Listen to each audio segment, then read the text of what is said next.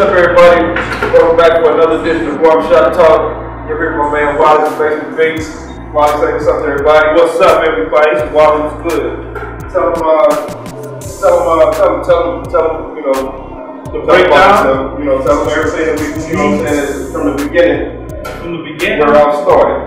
Oh, well, well, it all started in the same roller skating. Yeah. You know, Like, you know, back in the day, we uh, used to, used to hang out at the studio over there. Actually, um, I wasn't signed to them, but uh, the Lunatics and JE and Spud were and all that. So I had access to the studio through JE and Spud, and just honed my skills there. You know, I didn't, I wasn't in the studio as much as them, but you know, They stayed, they stayed in the studio. oh, this stuff. They in the studio while he was, uh, kicking it in St. Uh huh. They was in the studio working. Yeah. I, you know, I'm uh, same every Saturday, every Saturday, Saturday. Yeah. So, so I know I see them catching their work. But uh, so what what what was the first project that you did that uh that really you know what I'm saying got you confirmed, got you gave you gave you a gave you a uh, Honestly, don't know your name, you know that he right now, no, I find out who you are. what you Well, do. honestly, to tell you the truth, Free City. Okay. Free City was what my break. I got on Free City. Uh, back in the day, uh, I, I, I would have got on Perfect Grammar, but the beat that that was almost going to get picked to be on there had a sample, and they were, you know, it was the first album. They didn't want to do all that. So, you know, they had already a couple of samples and things that needed to be cleared. So, we didn't make it. But Free City, I did a song called Boom Boom Boom with Ali. I did a song called This Is the Life with uh, Murph. It was originally Murph by himself, and then Kyjuan and Nelly got on it when we got to New York.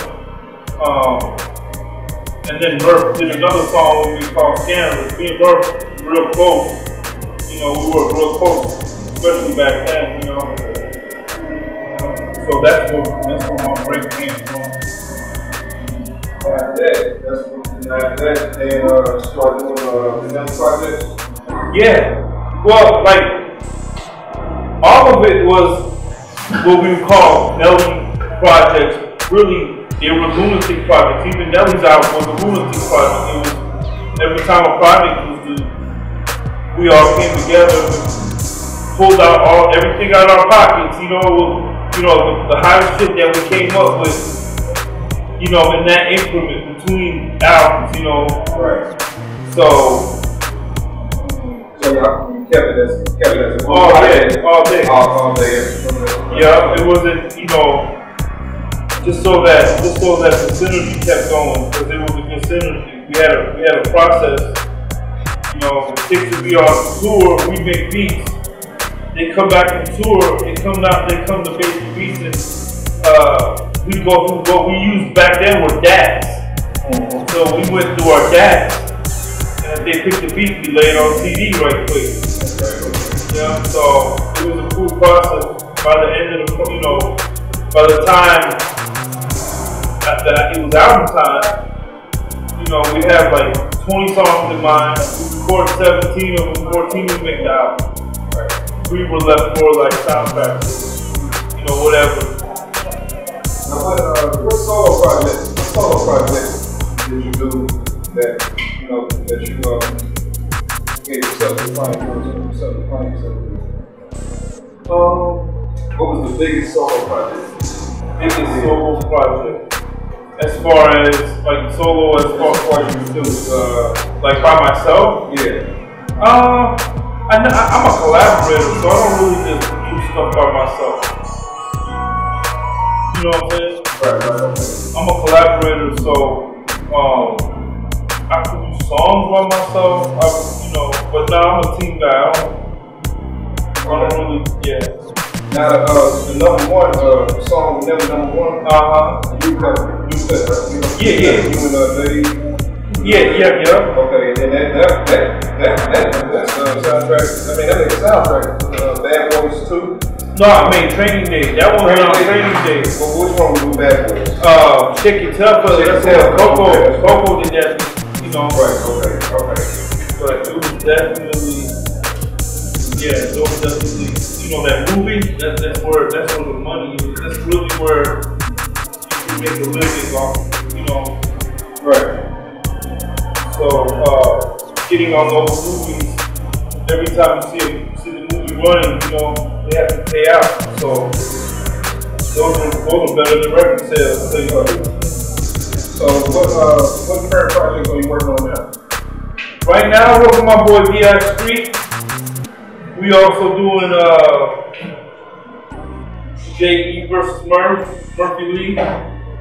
Um, we never stopped working as a cipher. I mean, you know what I'm saying? Like the opportunity came, we was doing the same thing. You know what I'm saying? Right. Making music was an opportunity came. We was prepared for it. You know, we just music is something that people love to make. You know, it's not about it's not it wasn't always about the money or making money. I guess that's why it was successful. You know, Because yeah, you're more dedicated to it. yeah, definitely. So So just being in it for being in it for limelight for the you know what I'm saying, for what everybody else that really don't know the true meaning of being too. You know what I'm saying? Basically, yeah, basically. yeah, man. But you know, people people don't see that part of the game. They don't see that uh, doing, you know, fueled by imagination part of the game. You know, they're ready for they're ready for they're ready for the long chains and double cups and Right, you know. right, right. All the stuff that's not gonna to longevity for one. I mean, it's like temporary, it's like a temporary bandage to, to look the part. Right. And, you know, to act like you're faded, you know, and just, I don't, I don't, I don't know. Industry, the industry turned me off. I used to, I could say that there was a period where I didn't love music no more. I didn't love making music. I didn't love, I didn't care.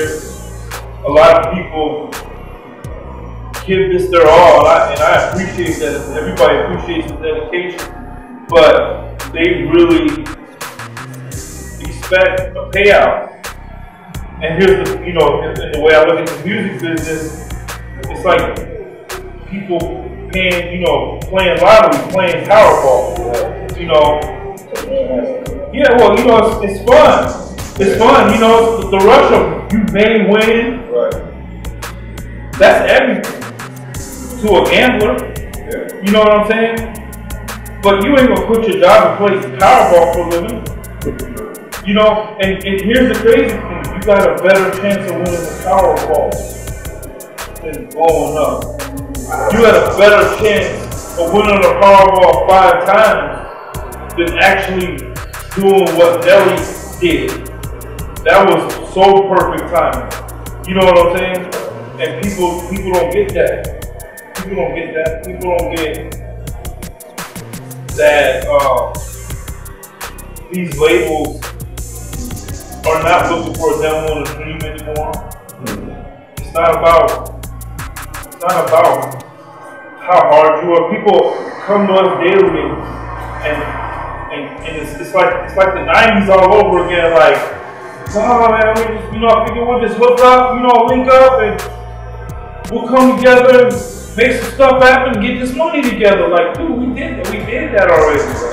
You know, we don't, the business don't work that way. People got lives. Hustle beats talent Right. every time. You know what I'm saying? Like every time. And a lot of these, that was a big thing with, you know, a big part of, you know, when Nelly blew up the way he did. Mm-hmm. A lot of people in St. Louis thought that, was how it was supposed to happen for everybody. Right. You know, and a lot of people didn't see the the grind. I was gonna say they didn't that. they didn't, they didn't, they didn't, see that. You know, right? Like I said, it just popped out of nowhere. A lot of people even know. A lot of people didn't even know about y'all being up in the damn studio and things. You know what I'm saying? Not at all. I mean, they had tenant windows. You know what I'm saying? For the most part, but we was regular Saints boys. Part, you know what I'm saying? We we knew, you know what I'm saying? Word of mouth. They went to the UC, we went to the dude, you know what I'm saying? So we really know each other by name and, you know, face and stuff like that, but not know each other like that, you know what I'm saying? So we knew, we like, they, they be up in the studio. Get- Back then, to be honest, rap, people was just, you know what I'm saying, rap was going on, but at the same time, pe- cats out of St. Louis weren't trying to take no rap nowhere. You know what I'm saying? They weren't trying to do nothing. You like, I mean, cats, we rapping in the hallway in the high schools and all that all day long, but wasn't nobody thinking about, man, we can make money off this? Not We can go really. this? Not really. They, because they didn't understand how it happened. They couldn't understand how it happened other than your record sold and somehow you got a commission from it. Right. You know, but um, and then at the same time, a lot of a lot of St. Louis rappers, and I always say this, you you, you know what I'm saying, you always hear me say this, they can't see past the curve. They see the curve, they see what's they see everything that goes on to the curve. And then they don't use their imagination to move past it. Right. So they don't want to make some song that sounds too weird. At the end of the day, the ticks were looked at by some like y'all weirdos, y'all y'all do some weird music.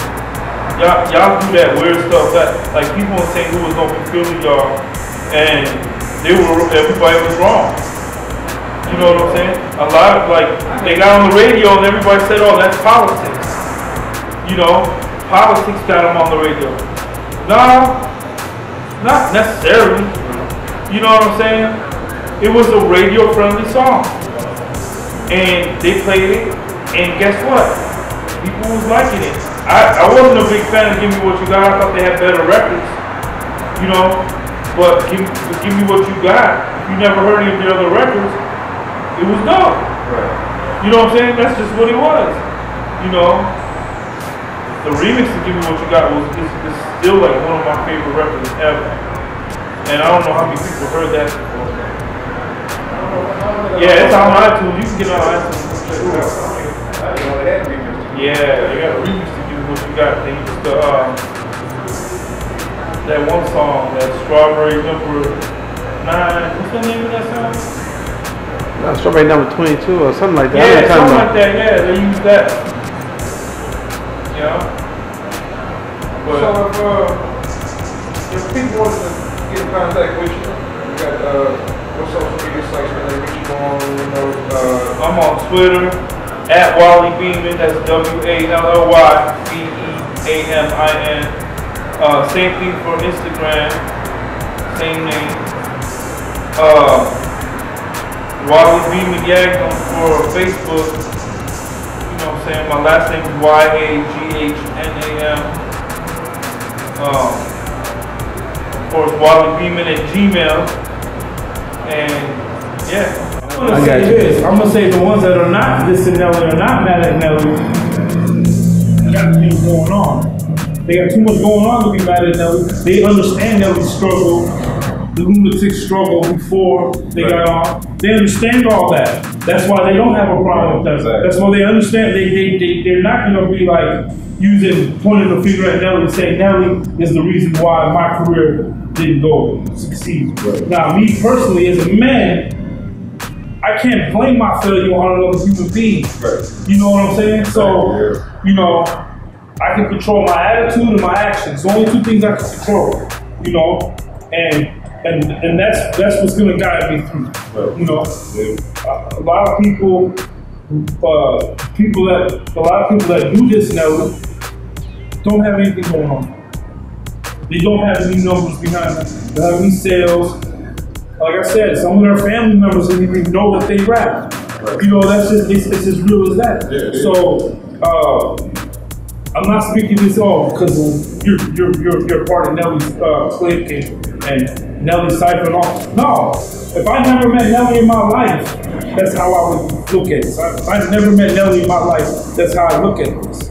Because however it happened, he ended up getting a situation. Him and the lunatics got a situation, you know. And with that situation, they brought a lot of there was a lot of other opportunities that spawned in St. Louis from it. Now, you weren't prepared for it. You weren't prepared for none of those opportunities that came at that time. That wasn't Nelly's fault. Because he was out prepared for his opportunity, and that's the name of the game. Thank you for coming through. Nah, man. Appreciate it, you know, and, uh, been looking forward to meeting you. I got a chance to meet you, so, you know, we keep in touch and things like that. But, uh, I want to thank everybody else for watching us. Y'all check us out. Keep, uh, keep, look out for the next episode. Barbershop Talk. You next time. Vito's Barber. Vito's Barbershop, 4815 Place. Thank you, Facility 3113 314 536 6381. Y'all come check me out. Hey, say shout out to Mr. A Block DVD as always. The man doing his thing. Well, you want to say something? Shout out to everybody we leave out here. Shout out, shout out to all my people, man. Everybody knows, you know, I know too many people. Right.